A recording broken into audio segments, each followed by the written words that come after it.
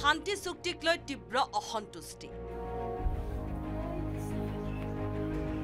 ভূটানত নিৰুদ্দিষ্ট আলফা পৰিয়ালৰ ক্ষোভ। দিল্লীত গোপনে সম্পাদনা কৰা আলফাৰ শান্তি চুক্তিয়ে অশান্তি দিছে নিৰুদ্দিষ্ট আলফা নেতা অশান্ত বাঘ ফুকনৰ পত্নী মালিনী ইংটিপিক। আলফাৰ শান্তি চুক্তিয়ে নিৰাশ কৰাৰ কথা ক'লে মালিনী ইংটিপিয়ে। তেওঁলোকে চুক্তি কৰিলে সঁচা কিন্তু ভূটানৰ নিৰ্দিষ্টসকলৰ সম্পৰ্কে আজিও শুদ্ধ তথ্য দিব নোৱাৰিলে। সেইটোত আমি বহুত দুখিত। বিছ বছৰ ধৰি শিৰত সেন্দুৰ লৈ স্বামীৰ বাবে আশা আৰু বিশ্বাসেৰে বাট চাই আছে মালিনীয়ে। স্বামী আহিব বুলি বিছ বছৰে পদূলিলৈ চাই থাকি হতাশ নোহোৱা আঠটা পৰিয়ালক কিয় হতাশ কৰিছে আলফাৰ শান্তি চুক্তিয়ে? এই প্ৰশ্নৰ উত্তৰ দিলে মালিনী ইংটিপিয়ে। কেনেকৈ সহিছোঁ আমি? সেইটো আমি নিজেহে গম পাইছোঁ। আৰু মোৰ দৰে যি আঠটা পৰিয়াল আছে ভুক্তভোগী সেই পৰিয়ালকেইটাই গম পাইছে আৰু দেখা যিসকলে মোক চকুৰ ওচৰত আছে তেওঁলোকে গম পাইছে। হয়তো তেওঁলোকেও দুখ পায় মোক দেখি কিন্তু কোনেও একো সহায় কৰিব নোৱাৰে। সেইটো মোৰ নিজৰ সমস্যাৰ নিচিনাকৈ মই তাকে আদৰি লৈছোঁ। শান্তি চুক্তিৰ পূৰ্বে ভূটানত নিৰুদ্দিষ্ট আলফা নেতা সম্পৰ্কে শুদ্ধ তথ্য নিদিয়াত ক্ষোভিত ত্ৰিছৰো অধিক নিৰুদ্দিষ্ট আলফা নেতাৰ পৰিয়াল। দুহেজাৰ তিনিৰ পোন্ধৰ ডিচেম্বৰৰ পৰা দুহেজাৰ চাৰিৰ তিনি জানুৱাৰীৰ ভিতৰত ভূটানত চলা অল ক্লিয়াৰ অপাৰেশ্যনত নিখোজ হৈছিল আলফাৰ বহু নেতা কেডাৰ।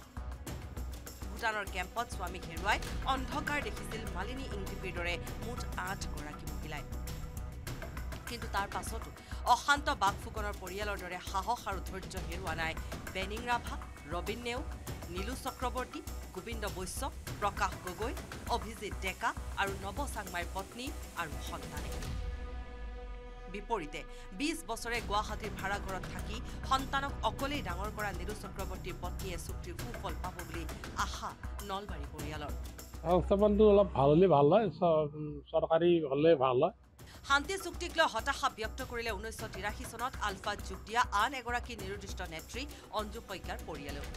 এতিয়াও আপোনালোকে কিমান হাজাৰ হাজাৰ ল'ৰা ছোৱালী হেৰি সুসূত্ৰ দিব পৰা নাই। সেইখিনি পৰিয়ালে কিমান ভুগিছে সেইখিনি আপোনালোকে প্ৰথম বিচাৰ কৰক। আলফাৰ প্ৰতিষ্ঠাকালৰ বহু দফা সন্নিৱিষ্ট নোহোৱা চুক্তিক মানি ল'ব খোজা নাই। আলফালৈ গৈ সৰ্বোচ্চ ত্যাগ কৰা বহু নেতা কেডাৰৰ পৰিয়ালে। মৰিগাঁৱৰ পৰা পৱনজ্যোতি ডেকা শিৱসাগৰৰ পৰা প্ৰদীপ গগৈ আৰু নলবাৰীৰ পৰা কৈলাশ ডেকাৰ report. News eighteen Assam north east.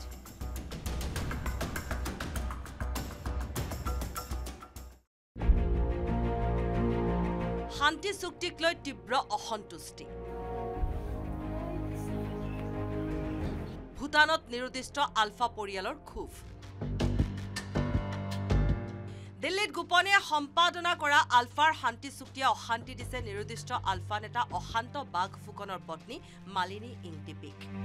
আলফাৰ শান্তি চুক্তিয়ে নিৰাশ কৰাৰ কথা ক'লে মালিনী ইংটিপিয়ে। তেওঁলোকে চুক্তি কৰিলে সঁচা কিন্তু ভূটানৰ নিৰ্দিষ্টসকলৰ সম্পৰ্কে আজিও শুদ্ধ তথ্য দিব নোৱাৰিলে। সেইটোত আমি বহুত দুখিত।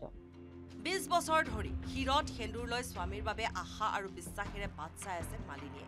স্বামী আহিব বুলি বিছ বছৰে পদূলিলৈ চাই থাকি হতাশ নোহোৱা আঠটা পৰিয়ালক কিয় হতাশ কৰিছে আলফাৰ শান্তি চুক্তিয়ে? এই প্ৰশ্নৰ উত্তৰ দিলে মালিনী ইংটিপিয়ে। কেনেকৈ সহিছোঁ আমি সেইটো আমি নিজেহে গম পাইছোঁ। আৰু মোৰ দৰে যি আঠটা পৰিয়াল আছে ভুক্তভোগী সেই পৰিয়ালকেইটাই গম পাইছে আৰু দেখা যিসকলে মোক চকুৰ ওচৰত আছে তেওঁলোকে গম পাইছে। হয়তো তেওঁলোকেও দুখ পায় মোক দেখি কিন্তু কোনেও একো সহায় কৰিব নোৱাৰে। সেইটো মোৰ নিজৰ সমস্যাৰ নিচিনাকৈ মই তাকে আদৰি লৈছোঁ। শান্তি চুক্তিৰ পূৰ্বে ভূটানত নিৰুদ্দিষ্ট আলফা নেতা সম্পৰ্কে শুদ্ধ তথ্য নিদিয়াত ক্ষোভিত ত্ৰিছৰো অধিক নিৰুদ্দিষ্ট আলফা নেতাৰ পৰিয়াল। দুহেজাৰ তিনিৰ পোন্ধৰ ডিচেম্বৰৰ পৰা দুহেজাৰ চাৰিৰ তিনি জানুৱাৰীৰ ভিতৰত ভূটানত চলা অল ক্লিয়াৰ অপাৰেশ্যনত নিখোজ হৈছিল আলফাৰ বহু নেতা কেডাৰ। ভূটানৰ কেম্পত স্বামীক হেৰুৱাই অন্ধকাৰ দেখিছিল মালিনী ইংটিপিৰ দৰে মুঠ আঠগৰাকী মহিলাই। কিন্তু তাৰ পাছতো অশান্ত বাঘ ফুকনৰ পৰিয়ালৰ দৰে সাহস আৰু ধৈৰ্য হেৰুওৱা নাই। বেনিং ৰাভা ৰবীন নেওগ নীলু চক্ৰৱৰ্তী গোবিন্দ বৈশ্য প্ৰকাশ গগৈ অভিজিত ডেকা আৰু নৱ চাংমাইৰ পত্নী আৰু সন্তানে। বিপৰীতে বিছ বছৰে গুৱাহাটীৰ ভাড়াঘৰত থাকি সন্তানক অকলেই ডাঙৰ কৰা নীলু চক্ৰৱৰ্তীৰ পত্নীয়ে চুক্তিৰ সুফল পাব বুলি আশা নলবাৰী পৰিয়ালৰ। সংস্থাপনটো অলপ ভাল হ'লে ভাল হয় চৰকাৰী হ'লে ভাল হয়। শান্তি চুক্তিক লৈ হতাশা ব্যক্ত কৰিলে ঊনৈছশ তিৰাশী চনত আলফাত যোগ দিয়া আন এগৰাকী নিৰুদ্দিষ্ট নেত্ৰী অঞ্জু শইকীয়াৰ পৰিয়ালেও। এতিয়াও আপোনালোকে কিমান হাজাৰ হাজাৰ ল'ৰা ছোৱালী হেৰি সুংসূত্ৰ দিব পৰা নাই। সেইখিনি পৰিয়ালে কিমান ভুগিছে সেইখিনি আপোনালোকে প্ৰথম বিচাৰ কৰক। আলফাৰ প্ৰতিষ্ঠাকালৰ বহু দফা সন্নিৱিষ্ট নোহোৱা চুক্তিক মানি ল'ব খোজা নাই। আলফালৈ গৈ সৰ্বোচ্চ ত্যাগ কৰা বহু নেতা কেডাৰৰ পৰিয়ালে।